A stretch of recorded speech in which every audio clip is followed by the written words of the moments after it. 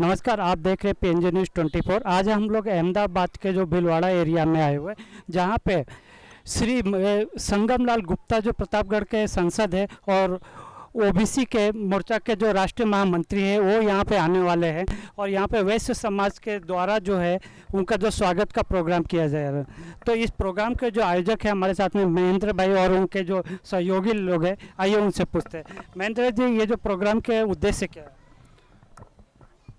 संगम लाल जी का अहमदाबाद में आगमन था। राष्ट्रीय स्तर पे उनका ओबीसी मोर्चा की बैठक थी।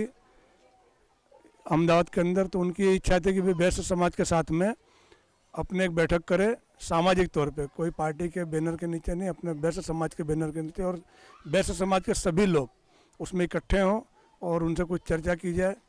इस ध्येय पे हमने यहाँ उनके साथ उनकी एक मीटिंग रखी है। तो ये क्या ऐसा देखा जा सकता है कि 2024 का जो इलेक्शन है आने वाला जो इलेक्शन है, उसको ध्यान में रख कर किया जा रहा है। देखिए 2022 का जो इलेक्शन है, उस इलेक्शन उसकी तैयारी तो पहले से चल रही है राष्ट्रीय स्तर पर। लेकिन जो ओबीसी मोर्चा, जो भारतीय जनता पार्टी का जो मोर्चा है, मुख्य मोर्चा, उस मोर्चे का एक उद्देश्य है कि मोर्चे से जुड़े हुए जितने भी समाज के लोग हैं, उनको जोड़ने की कोशिश की जाए और समाज को जोड़कर और पार्टी को आगे बढ़ाने की कोशिश की जाए, जिसके प्रदेश स्तर पर यहाँ पर मीटिंग रखी गई थी सुबह दिनेश हॉल में और समाज वैसे समाज के लोगों से मिलना चाहते थे, उनकी इच्छा थी तो इसलिए ये कार्यक्रम रखा गया है और उनका हम बहुत हृदयपूर्वक स्वागत करते हैं। देखिए हम प्रतापगढ़ से लोकसभा सांसद हैं। उसके पहले मैं प्रतापगढ़ से एमएलए था और उसके बाद मैं राष्ट्रीय महामंत्री हूँ, ओबीसी मोर्चे का। और निरंतर हम हर प्रदेशों के प्रवास पर हैं। अभी महाराष्ट्र विदर्भा के प्रवास पे था। हम दो दिन के प्रवास पे गुजरात में हैं। इसके बाद हम राजस्थान के प्रवास में हैं। तो संगठन की बैठक के बाद जो हमारे भाषा भाषी सेल के आ, दूसरे प्रांतों से यहाँ लोग रहते हैं बिज़नेस व्यवसाय करते हैं उनके साथ हमने बैठकें किया। और अभी यहाँ हमारे जो वैश्य समाज जो व्यवसाय करने वाले लोग हैं वैश्य समाज के उनके साथ हम बैठक कर रहे हैं।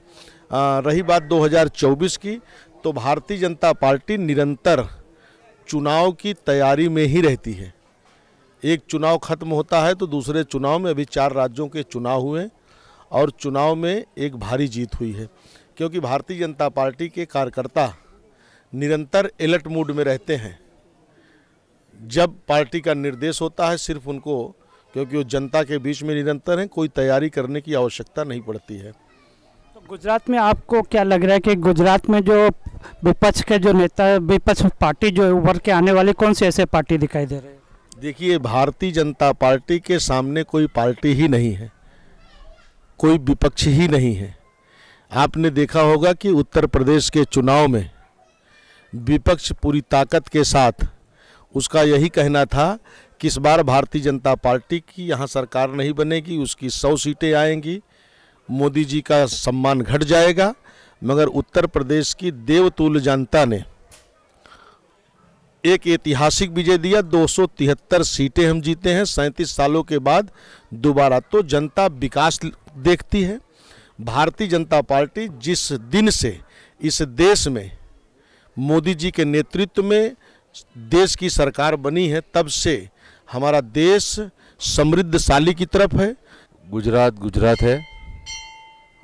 और गुजरात में आम आदमी पार्टी की अभी जो कॉरपोरेशन की इलेक्शन हुई, लास्ट में गांधीनगर कॉरपोरेशन का इलेक्शन हुआ, जमानत भी जब्त हो गई थी, आपको पता है।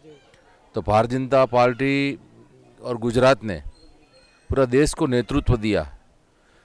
आज़ादी के टाइम पे भी महात्मा गांधी से लेके सरदार पटेल जी का नेतृत्व था और आज पूरे देश को गुजरात के लोते सपूत, श्री नरेंद्र मोदी साहब और अमित भाई शाह का पूरी पार्टी को नेतृत्व दे रहे हैं।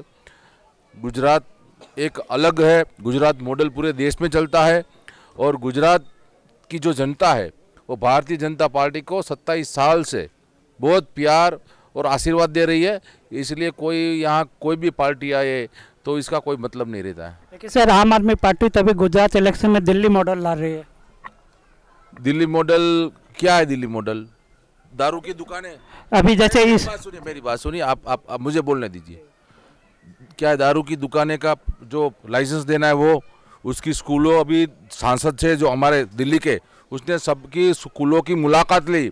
सब खंडेर की हालत है। एक स्कूल दिखा के क्या वो गुजरात जीतने निकले हैं? स्कूलें अच्छी है गुजरात में अच्छी है। गुजरात की जो इंफ्रास्ट्रक्चर है यहाँ कोई माफियागिरी नहीं है। यहाँ आपने अहमदाबाद में भी कांग्रेस के शासन जब भी था तो ये अहमदाबाद की स्थिति क्या थी, आपको पता है? क्या स्थिति थी तभी? और भारतीय जनता पार्टी मोदी साहब का शासन आने के बाद ये गुजरात में की परिस्थिति क्या है? विकास जो हुआ है, वो पूरे देश ने देखा है, दुनिया ने देखा है, इसलिए कोई ये आम आदमी पार्टी को हम कोई गिनती में लेते ही नहीं।